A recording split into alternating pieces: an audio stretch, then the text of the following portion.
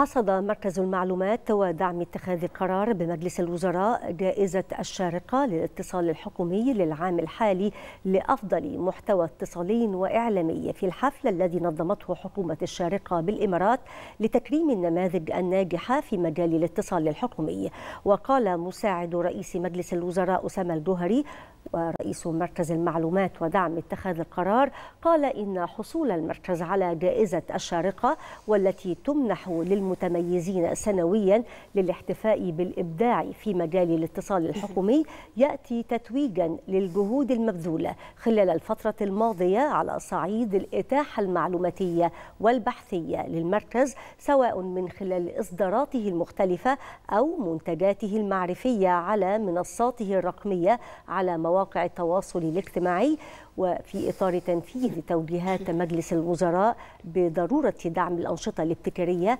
ومتطلبات التحول الرقمي ومواكبة التطورات العالمية في المجال البحثي والإتاحة المعلوماتية.